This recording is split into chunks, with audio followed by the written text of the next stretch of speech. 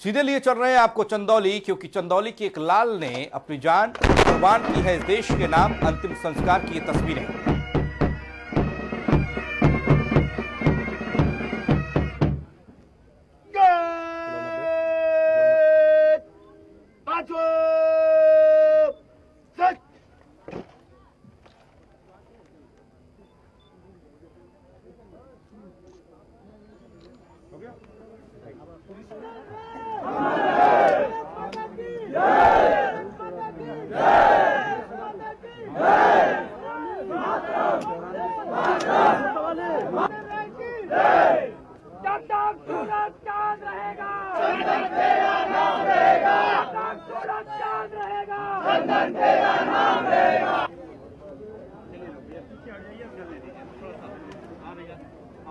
जब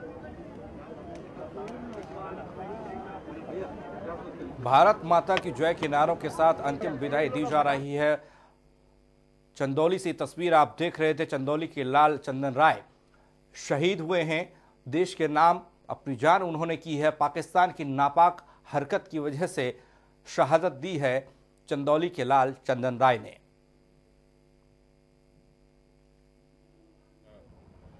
आप संदेश देना चाहते हैं?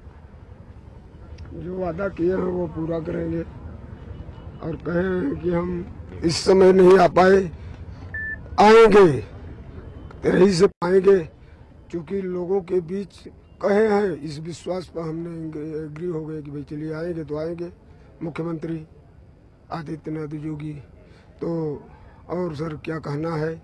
सबका भाव सबका प्रेम लड़का हमारा शहीद गाँव देश के लिए हुआ है। उस और अगर नहीं आए तो हमारी आत्मा जो है दुखी रहेगी सर। वही बात है। किस तरह का फक्र महसूस कर रहे हैं आप? दुख तो है ही है। दुख तो हैं। दुख तो है ही है। लेकिन देश के ऊपर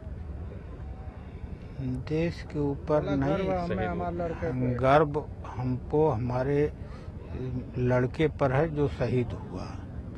देश पर गर्व नहीं है क्योंकि हमारे साथ माननीय मुख्यमंत्री जी आज इतना विलंब होने का कारण वही है।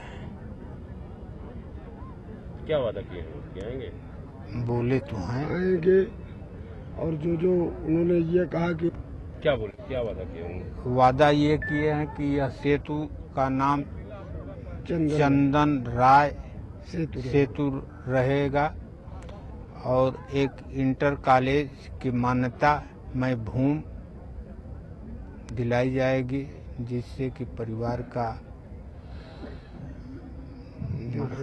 वो भी चंदन राय के ही नाम से रहेगा जो कि जब तक कॉलेज रहेगा। चंदन का नाम रहेगा। मतलब आप चाहते हैं किसी तरह से चंदन राय हमारे अमर रहे जी। देश। और चौराहे पर एक प्रतिमा लगाने के लिए माननीय सीओ जी बोले हैं और बोले कि मेडिकल कॉलेज कहीं है उसका नाम उसके नाम चंदन चंदन राय रखा जाएगा।